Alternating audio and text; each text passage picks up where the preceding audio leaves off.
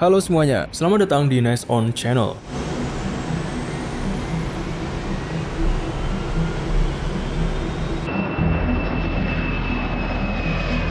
Pada tahun 1910-an dan 1920-an, sejumlah insinyur dan penemu seperti Sir Frank Whittle di Inggris dan Hans von Ohain di Jerman mulai mengembangkan konsep mesin jet secara independen. Lalu pada tahun 1937, Whittle memperoleh paten pertamanya untuk mesin turbojet yang merupakan tonggak penting dalam sejarah mesin jet.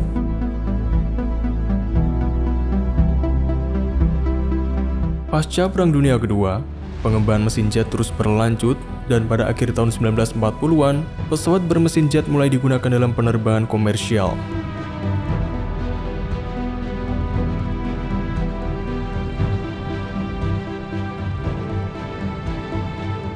Selama beberapa dekade berikutnya, mesin jet mengalami berbagai inovasi dan perbaikan,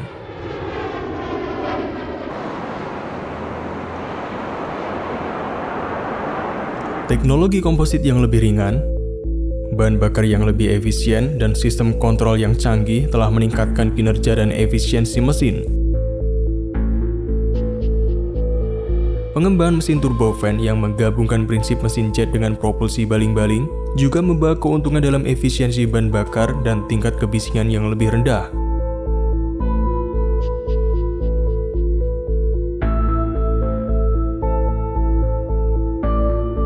Sejak awal era mesin jet, perusahaan Amerika Serikat seperti General Electric telah merancang dan memproduksi mesin pesawat terbang.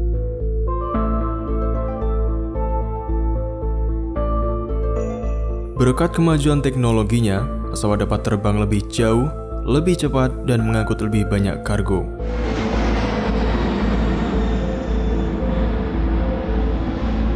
Pada tahun 2016, General Electric mulai menguji turbofan bypass tinggi untuk pesawat seri terbaru jarak jauh dan berbadan lebar Boeing 777X. Mesin itu dinamakan GE9X.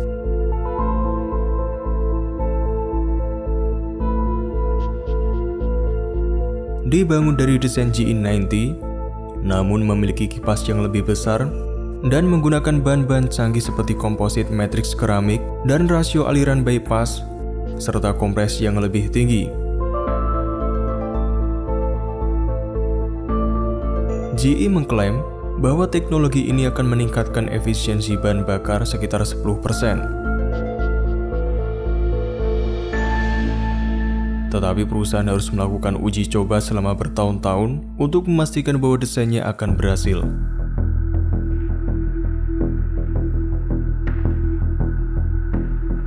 Mesin-mesin GE kebanyakan diproduksi di pabrik komponen mesin jet Auburn, Alabama milik perusahaan tersebut.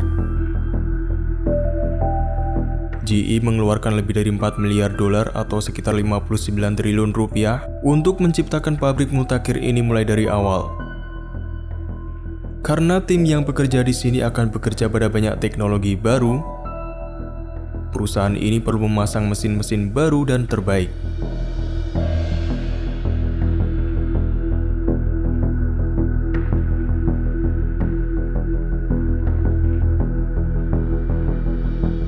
Meskipun berbasis di Amerika Serikat, GE memiliki fasilitas di seluruh dunia yang melayani berbagai tujuan dan fungsi yang berbeda.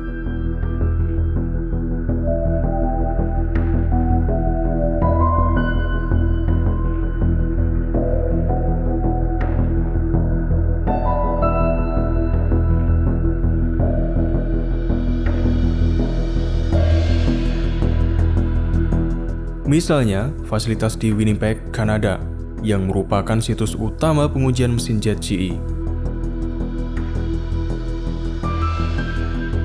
Di sini, tim dapat melakukan uji sertifikasi S seperti cold start testing, skenario penyerapan burung dan debu, serta uji ketahanan.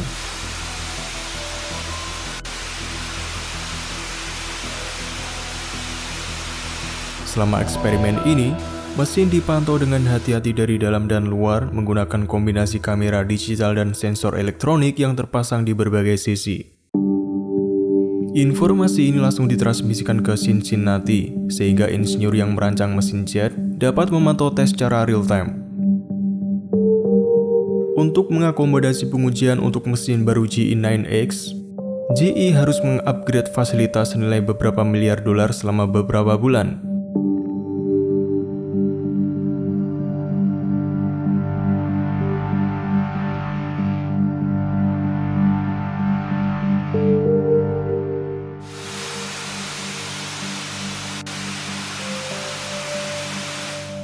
Selain situs Winnipeg, GE juga memiliki tempat pengujian di Peebles, Ohio.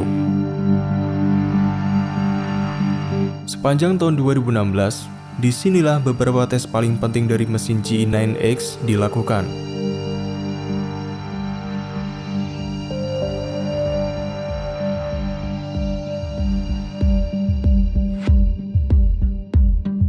Fasilitas di Peebles berada di luar ruangan, sehingga menyediakan lingkungan yang aman untuk menjalankan mesin dan memeriksa kapasitas operasinya. Ini biasanya dilakukan pada tahap pengembangan awal ketika mesin masih berupa prototipe. Pada uji coba pertama GE9X, mesin tersebut berhasil menyelesaikan 375 siklus dalam waktu 335 jam. Hal ini membantu memvalidasi desain mesin dalam hal performa aerodinamis, perilaku sistem mekanik, dan pengelolaan panas sistem udara sekunder. Inspeksi seperti ini sangat penting dalam menghasilkan produk akhir yang andal untuk digunakan oleh para pelanggan dari perusahaan.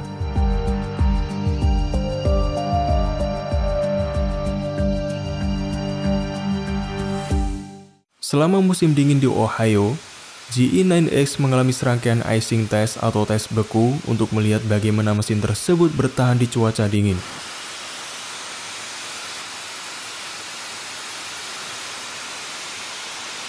FAA di Amerika Serikat serta banyak organisasi internasional lainnya mensyaratkan bahwa semua mesin harus memenuhi kriteria dan mencapai sertifikasi tertentu sebelum diizinkan dipasang pada pesawat.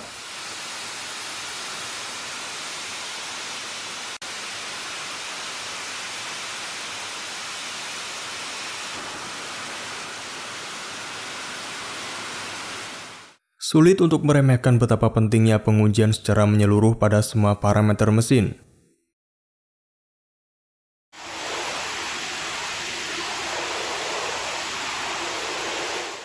Baik saat menangani mesin militer atau komersial yang baru, hot run test atau tes panas berjalan adalah tahap yang penting dalam proses ini.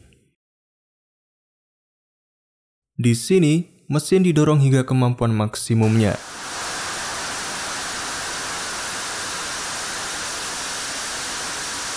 Tes ini biasanya dilakukan dengan egg house yang diarahkan ke dalam ruangan penyerap panas.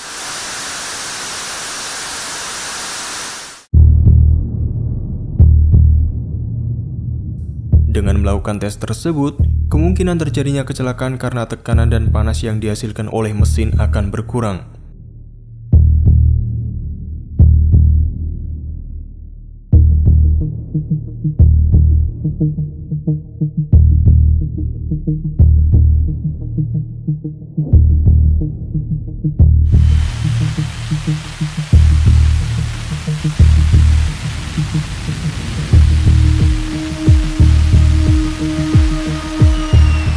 Afterburner adalah komponen pembakaran tambahan yang dirancang untuk meningkatkan daya dorong untuk penerbangan supersonik, combat, atau lepas landas darurat.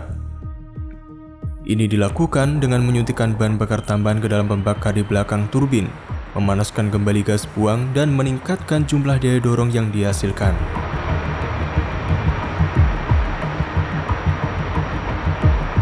Karena hal ini sangat mengurangi efisiensi bahan bakar, biasanya digunakan dalam waktu yang singkat.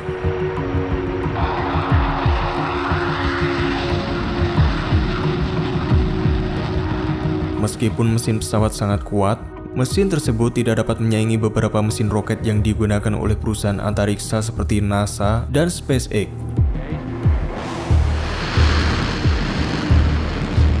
Seperti halnya mesin pesawat, tentu saja mesin-mesin ini juga perlu diuji secara ekstensif.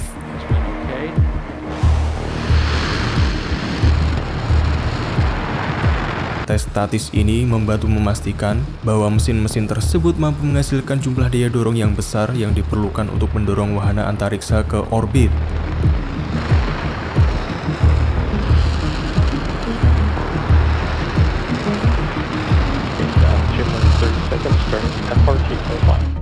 Pengujian mesin roket dilakukan dengan sangat hati-hati. Pengujian juga dilakukan di tempat yang jauh dari pemukiman, we have ignition of NASA's Space Launch System 5-segment solid rocket booster. Umumnya, pengujian roket hanya berlangsung beberapa menit, namun jumlah panas dan energi yang dihasilkan sangat besar.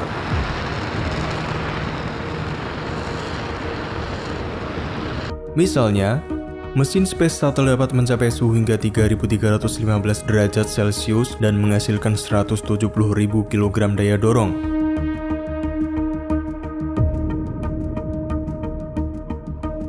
Roket modern dapat menghasilkan lebih dari 454.000 kg dorongan ketika dipasangkan bersama.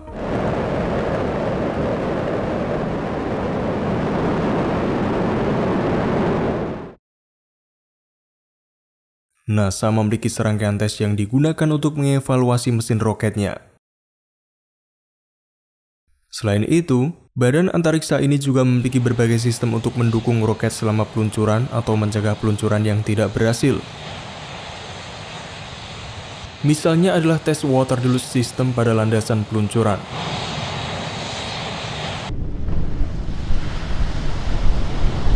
Water deluge system digunakan untuk mengurangi panas dan energi yang dihasilkan oleh peluncuran roket.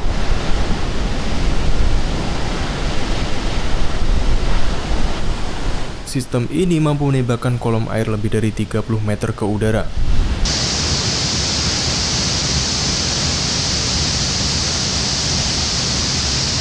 Ia dibangun untuk mengeluarkan 1,7 liter air yang dialirkan ke saluran besar yang terletak di bawah platform peluncuran roket.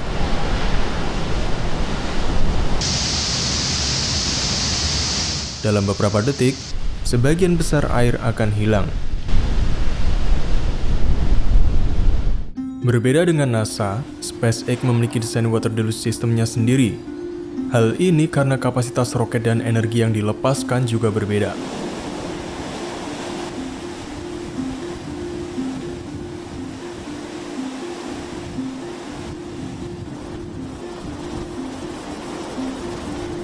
Starship menghasilkan sekitar 7,7 juta kilogram daya dorong, hampir dua kali lipat dari SLS sekitar 4 juta kilogram daya dorong. Meski sudah menggunakan water deluge system, dampak yang ditimbulkan dari peluncuran roket terkuat Starship sangat parah.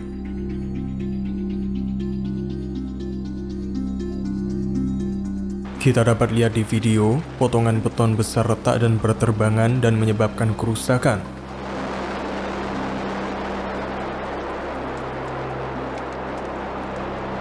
Kemungkinan beberapa mesin Raptor rusak akibat serpian terbang ini selama peluncuran, yang akhirnya menyebabkan Starship tidak dapat mencapai orbit. Everything after clearing the tower was icing on the cake.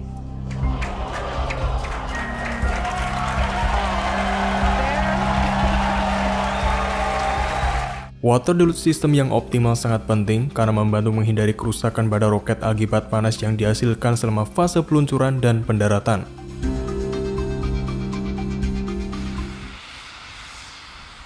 Belajar dari peluncuran Starship pertamanya, SpaceX telah mengembangkan water deluge system terbaru pada launchpad-nya yang akan digunakan untuk peluncuran Starship tahap kedua.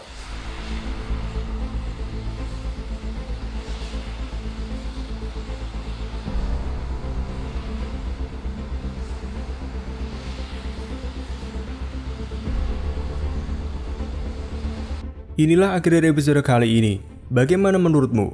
Tulis pendapatmu di kolom komentar. Dan nantikan episode selanjutnya hanya di Nest On.